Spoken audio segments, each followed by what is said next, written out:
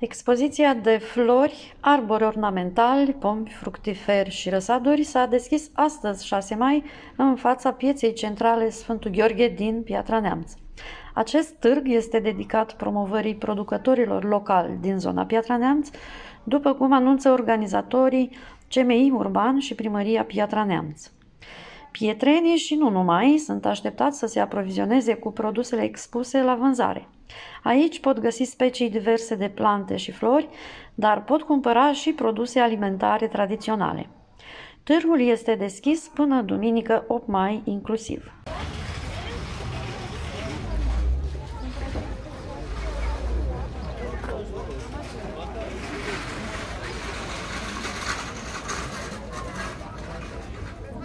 Thank you.